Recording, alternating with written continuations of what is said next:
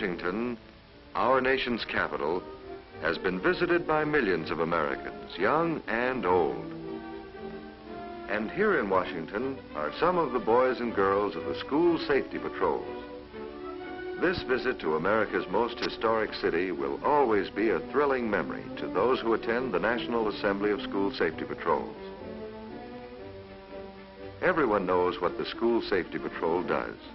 On street corners all over the country, safety patrols remind people, children and adults, to be safe in traffic.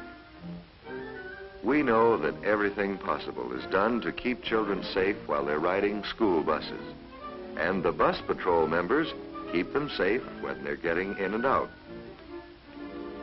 The safety patrol means more safety in school and on the playground.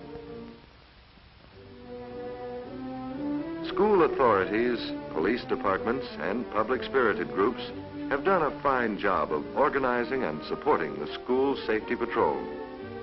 These boys and girls are chosen as safety patrol members because they've earned the respect of their schoolmates and because they can be leaders. Of course, even if we're not safety patrol members ourselves, safety is our business, no matter how old or how young we are, or whether we go to school or what we do. But wherever you may be, you'll find the Safety Patrol helping others in learning to be safe and reminding us all that it's better to be safe than sorry. And sometimes, Safety Patrol members do much more than is expected of them in teaching the habits of safety. For example, there's the story of Jimmy Adams. One morning, early this winter, Jimmy was guarding his corner as usual.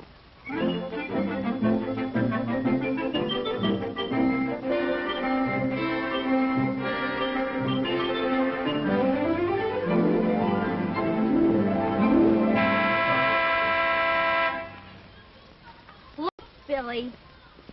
Would you mind waiting for my go signal before you cross the street? Ah, I don't need anyone to tell me what to do. That's just what you do need.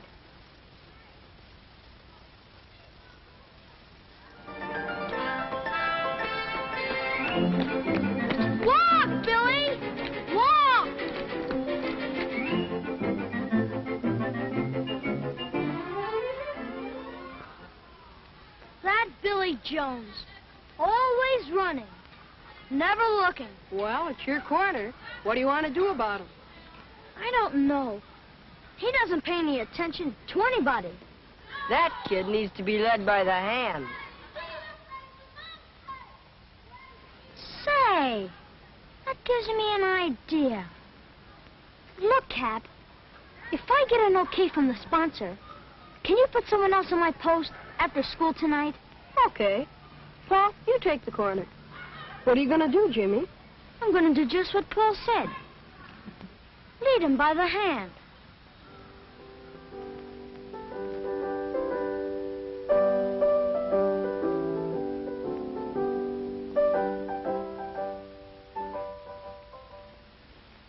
I have a note here from the principal that says Billy Jones has permission to leave school a few minutes early today. You may leave now, Billy. Billy didn't know what it was all about. But Jimmy did. He reminded Billy that safety patrol members are not chosen to be bosses, but to help others.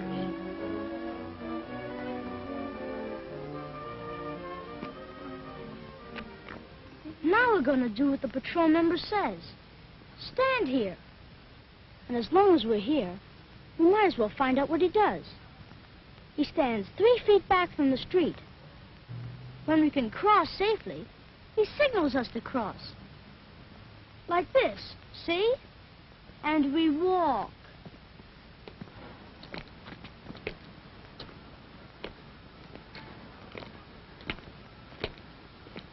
Billy, why don't you get smart? The way you act sets a bad example for all the other kids. Look, there's a boy learning to drive in the high school's driver training car. And Billy, you can bet that the safety rules he's learning while he's driving are easier for him. Because he's already learned the safety rules for walking. Jimmy explained the safety rules for pedestrians. Stop at the curb. Look both ways. Wait until it's safe. Then walk across the street.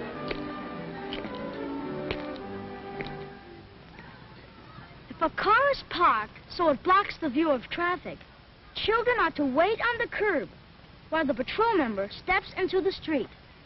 Not more than three steps either.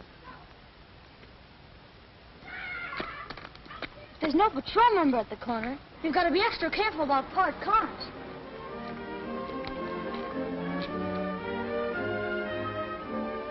All the way home, Jimmy talked about safety and how easy it is to be careful. And all the way home, Billy seemed to be paying no attention at all. Good night, Mr. Safety. Okay. And I'm going to take you to school Monday, too. I'll be waiting right here.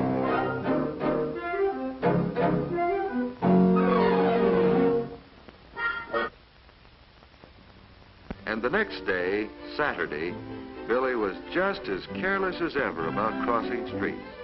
He just wanted to get those groceries home in a hurry so he could spend the rest of the weekend having fun.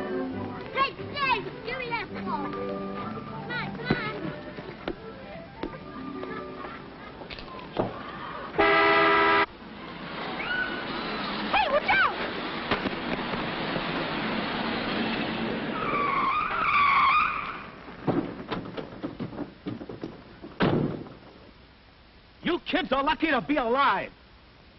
And if it hadn't been for you, son, they might not be alive. Thanks, fella. That was quick thinking. You're a regular Mr. Safety, aren't you? Mr. Safety. Billy had been kidding when he called Jimmy Mr. Safety, but the truck driver wasn't kidding. Suddenly, Billy knew it was no joke about safety being one of the most important rules in life. Hi, Jim. Hi, Bill. I just came to tell you you don't need to take me to school Monday morning, I'll be there, don't worry. but you don't have to. I don't? Look, Jim, honest, I've learned my lesson about safety. All right, then I won't take you to school. But how about it, us just walking together? You know, friends. And maybe we could talk about me joining the safety patrol? Okay. Friends. Maybe we can talk about the safety patrol. That's why Jimmy Adams and Billy Jones are good friends. And more important, that's why Billy Jones obeys traffic safety rules and respects the safety patrol members. There are thousands of boys like Jimmy Adams and thousands of girls too, helping to protect precious lives by giving up some of the time they could be using for fun. You'll find them on duty in rain or snow, sunshine or storm, proud to be doing their job. Okay. Hi, Jim. Hi, Bill. And many more children like Billy, though they may not be patrol members themselves, are doing an important job of setting good examples for their schoolmates.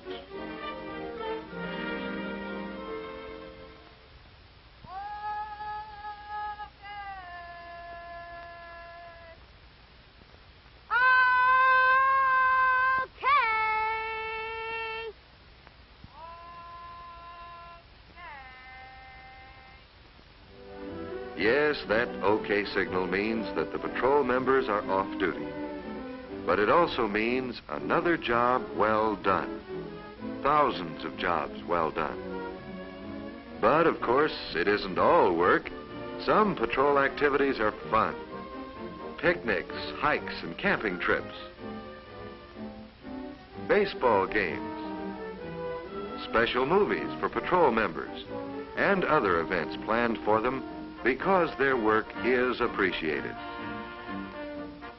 In America, there are more than 500,000 Safety Patrol members.